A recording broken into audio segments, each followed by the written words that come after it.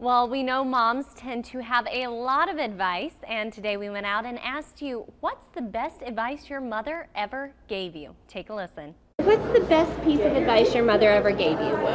Oh golly, she gave me some.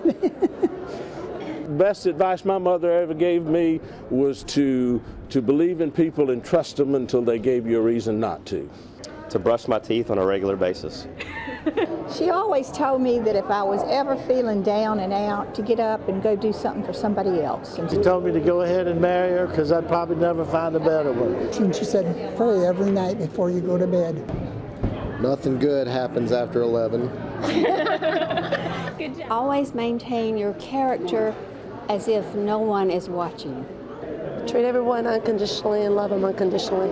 Always love your neighbor as yourself. Treat others as you'd like to be treated. Do unto others as you want them to do unto you. Uh, the golden rule, treat others as you want to be treated. Be kind to everyone.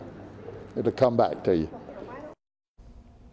Now, I love talking to them, but I have to agree, disagree with one piece of advice. Nothing good happens after 11. News Channel 6 happens after 11. True that. Well, We could say 11:35. he still might have a point. Okay. I- no offense. oh, Tom, that was rough. that was good though. It was good. It's Well, quick too. As long as you brush your teeth on a regular basis. We I do, guess we, we can do. still Hope- get We along. have to. Yes.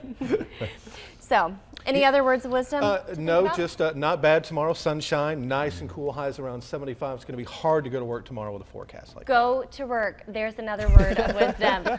Okay, that's our report for now, and thank you so much for joining us. We're going to leave you with some pictures of the WJBF news staff and some of their moms. Have a good night.